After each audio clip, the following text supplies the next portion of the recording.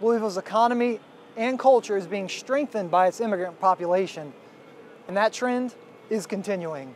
The city's foreign born population increased by 19% from 2015 to 2019, according to city officials. Most of the growth in Louisville is attributed to, to uh, immigrants, one form or another. According to the Office for Globalization, immigrants are better educated and have a higher rate of workforce participation than area residents. No international group has had a stronger presence in Louisville than the local Cuban community. The main reason is because uh, the standard of life, you know, here in Kentucky, you have more opportunities, you know, better salaries, and also everything is cheaper.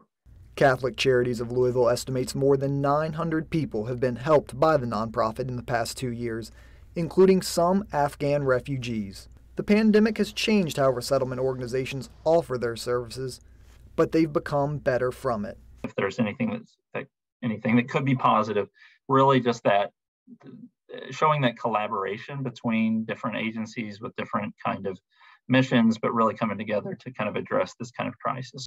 That support helping newcomers find a long-term home. You can really see that uh, within the fabric of the city, you know, in in in, in um, every sphere, um, and so it's really important for us because um, it not only creates a strong community, but also it, it's uh, it's beneficial for our for our economies. You know, as we um, uh, new Americans kind of find a place um, of belonging. City officials expect Louisville's foreign-born population to continue to rise over the next few decades.